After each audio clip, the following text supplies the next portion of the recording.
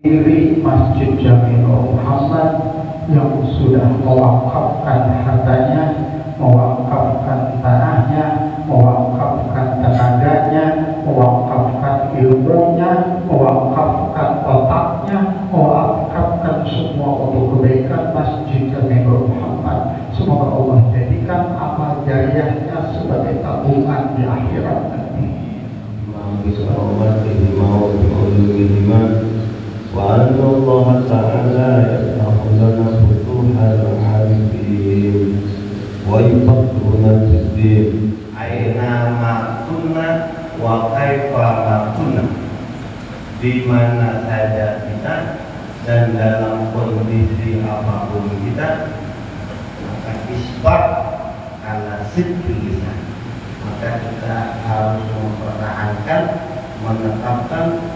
lisan ini lisan kita ini biar tetap jujur.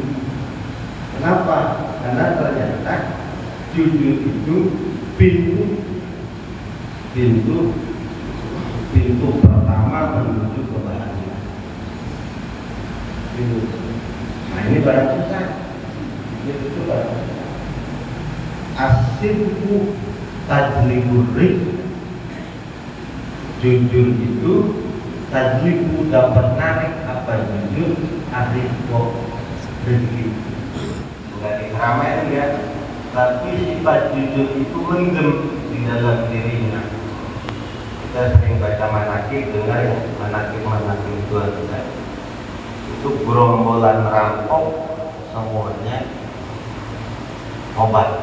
Bukan negara obat jadi wali gara-gara itu gara-gara obat ya. Asirku apa tadi? Asirku pasirku lisani awal usaha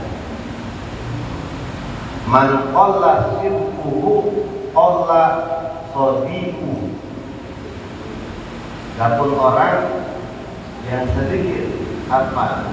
Sirkuhu jujurnya qalla maka sedikit.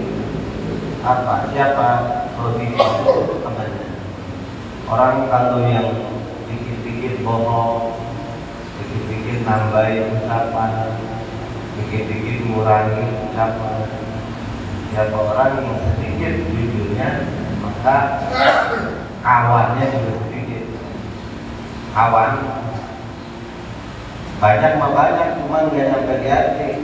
Asik ya Allah Allahumma selalu kali hidayah warahmah istiqomah wal sakinah wal barokah wal barokah. Sallallahu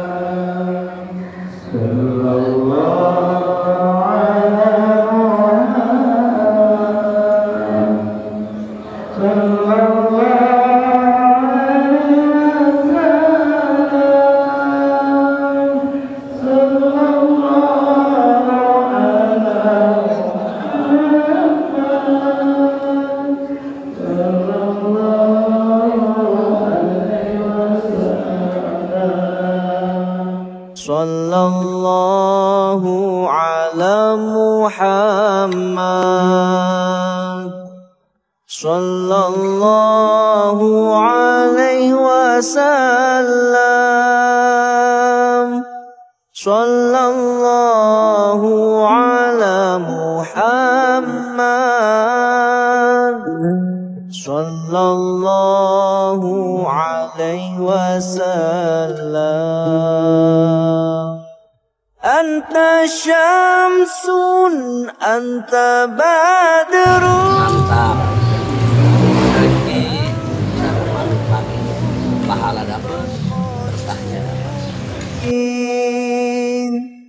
أنت شمس أنت بدر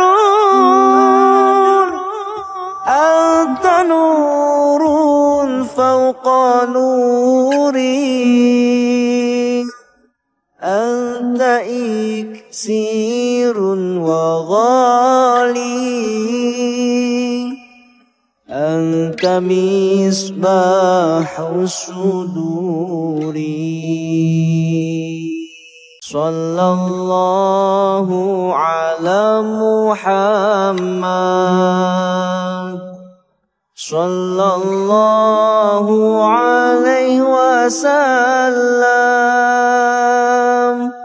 صلى الله على محمد. صلى الله عليه وسلم.